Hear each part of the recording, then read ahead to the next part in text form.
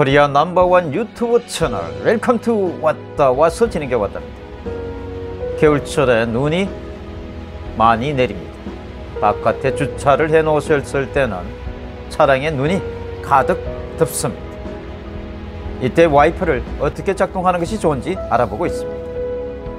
눈이 녹을 때까지 와이퍼를 작동시키시면 안 됩니다.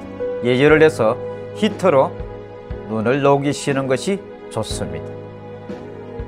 그런데 사전에 방지책으로 눈이 오는 날은 와이퍼를 세워두는 것이 좋습니다. 지금처럼 와이퍼를 세우지 않고 그대로 뒀을 때는 눈이 다 녹을 때까지 기다리셔야.